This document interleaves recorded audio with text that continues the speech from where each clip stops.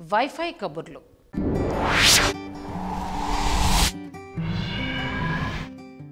ఈ మధ్య మన ఇళ్ళలోకి బంధువులు వస్తే మీరేం తీసుకుంటారు అని మనం అడిగేలోపే కాఫీజీలు అడగడం మానేసి మీ వైఫై పాస్వర్డ్ కాస్త చెప్తారా అనే విధంగా ఒక సరికొత్త ఆధునిక విప్లవానికి తెరలేపిన ఇంటర్నెట్ ప్రభంజనం తాలూకు ముఖ్యమైన అంశం వైఫై గురించి. కొన్ని ఆసక్తికరమైన విషయాలను తెలుసుకోవడానికి ప్రయత్నం చేద్దాం. అందరికీ దగ్గరైన ఈ ఇంటర్నెట్ ప్రభంజనం తాలూకు ముఖ్యాంశం ఈ టెక్నాలజీ యొక్క పేరు వైఫై అంటే అర్థం వైర్లెస్ ఫిడెలిటీ. అంటే వైర్ల సహాయం లేకుండా సమాచార వ్యవస్థను అంతే వేగంగా కొన్ని కొన్నిసార్లు మెరుపు వేగంతో సమాచారాన్ని అటు ఇటు చేరవేసే ఖచ్చితమైన ప్రక్రియ అని అర్థం వచ్చేలా ఈ పేరును పెట్టారు. Industrial scientific and medical radio bands ISM ఈ బ్యాండ్స్ ద్వారా ఆకాశంలో గాలిలో కలిసిపోయే కొన్ని రేడియో తరంగాల ద్వారా నడిచే ఈ టెక్నాలజీ వల్ల ఈ రోజున ఇంటర్నెట్ సుమారు రెండు వేల శాతం వృద్ధి చెందింది అని అంటారు టెక్ పండితులు. వ్యాపార లావాదేవీలు మొదలుకొని మామూలు పిచ్చాపాటి కబుర్ల వరకు వైఫైను వాడడం వల్ల జనంలో దీనికి విపరీతమైన క్రేజ్ నెలకొందండి. మన భారతదేశంలో వైఫై ప్రభంజనం మొదలైంది. ప్రముఖ స్మార్ట్ ఫోన్ల సంస్థ నోకియో వారి సింబియాన్ సెల్ ఫోన్ల ద్వారా. ఒకప్పుడు రాజ్యమేలిన నోకియా సింబియాన్ ఫోన్లకు దీనిని అనుసంధానించిన ఘనత దక్కింది ప్రముఖ వ్యాపార దిగ్గజ సంస్థ శాంసంగ్ ఇంకా సోనీలకు. దీనిని సృష్టించింది ప్రముఖ Australian network engineer doctor John O'Sullivan ఇంకా వాడుకలకు తెచ్చింది ఇంగ్లాండ్ నివాసి అయిన టేరెన్స్ పెర్సివల్ మార్టిన్.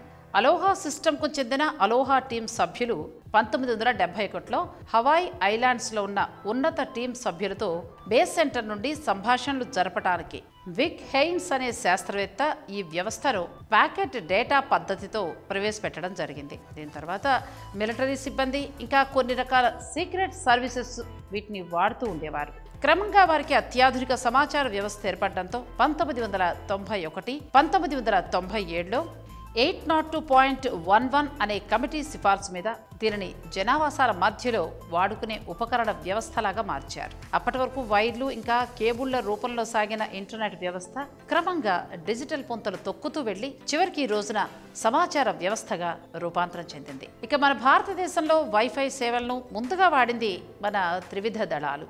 కొన్ని పరిశోధనశాలల్లో కూడా ఈ సేవలను ఉపయోగించడానికి శతవిధాలా ప్రయత్నించిన ప్రభుత్వం అక్కడ పనిచేసే వారికి అంతగా కంప్యూటర్ లిటరసీ ముఖ్యంగా డిజిటల్ కంప్యూటింగ్ వ్యవస్థ మీద సరైన అవగాహన లేకపోవడం వల్ల ఈ ప్రాజెక్ట్ అక్కడ ఫెయిల్ అయింది.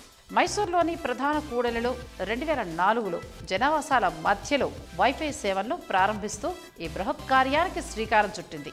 అప్పటి నుండి ఇండియాలో ఉన్న సామాన్య సేవలను అసామాన్య సేవలు అది కూడా కేబుల్ వ్యవస్థ లేకుండా చేయటం అనేది ఒక వెనుమార్పుగా భావించిన భారత ప్రభుత్వం ఇండియాలోని ముఖ్య నగరాల్లో ఈ సేవలను ఉద్ధృతంగా వ్యాప్తి చేయాలని భావించింది. టెలికమ్యూనికేషన్ను మన దేశంలో నియంత్రించే ట్రాయ్ కనుసన్నల్లో వైఫై సేవల్ని ప్రారంభించారు చాలామంది నెట్వర్క్ ఆపరేటర్స్. అందులో ముఖ్యంగా బిఎస్ఎన్ఎల్ ఎయిర్టెల్ రిలయన్స్ లాంటి సంస్థలు ఎక్కువగా పాల్గొని భారతీయ సమాచార వ్యవస్థలో ఒక నవశకానికి తెరలేపడం జరిగింది. వైర్లెస్ ఫిడేలిటీ అంటే వైఫై అనే పేరును ఈ వ్యవస్థకు పెట్టే ముందు దీనికి రకరకాలైన వింత పేర్లను సజెస్ట్ చేయడం కూడా జరిగింది కొంతమంది టెక్ పండితులు.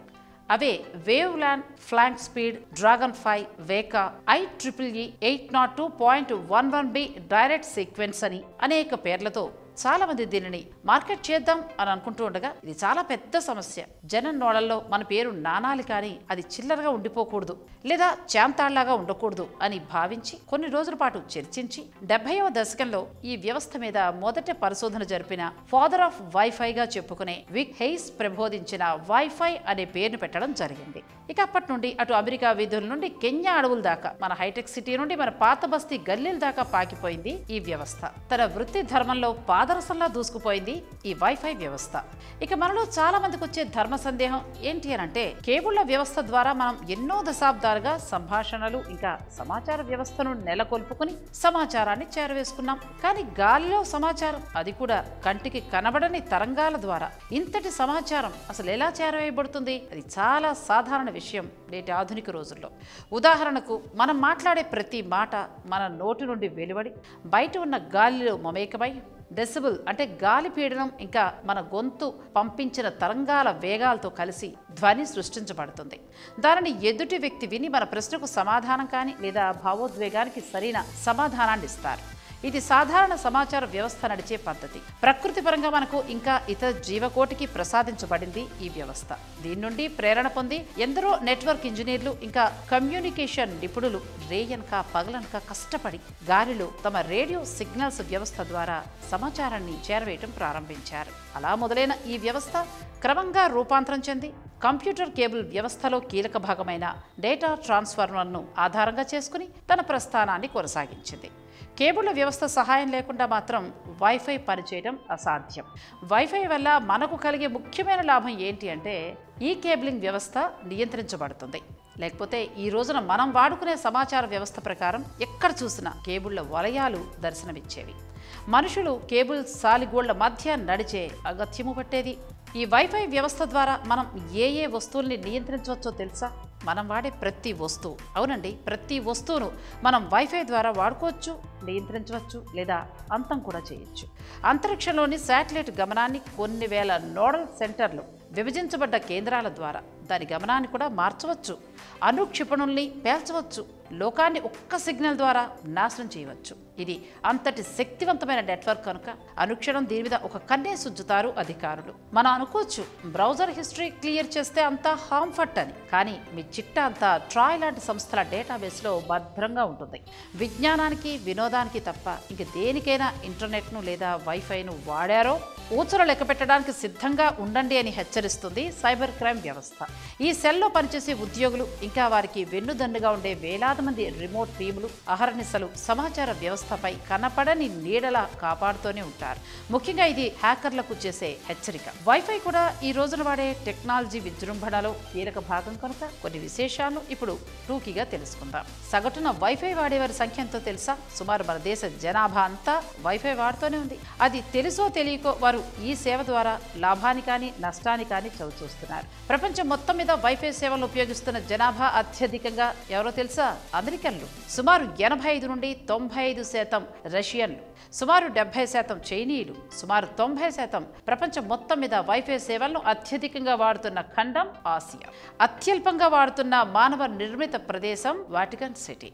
ఇప్పుడు మనం సంభాషించుకునే సమయానికి సుమారు కోటి మంది కొత్త వైఫై వినియోగదారులు పుట్టుకొస్తున్నారు ఈ ప్రపంచం అంతటా ఇక ఆఖరిగా వైఫై ద్వారా అత్యధికంగా సరఫరా అవుతోంది ఏంటో కూడా తెలుసా?